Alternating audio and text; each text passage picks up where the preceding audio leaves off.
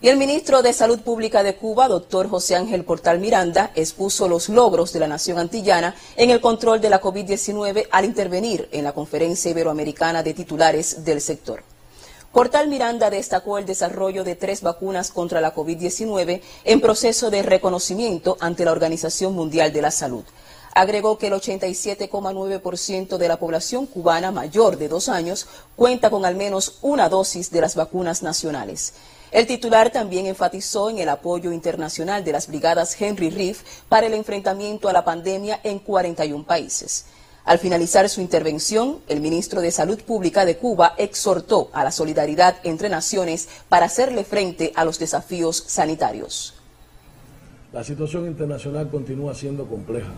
Los contagios mantienen su tendencia al ascenso y la injusta y desigual distribución de las vacunas desafía los esfuerzos para poner fin al actual escenario epidemiológico.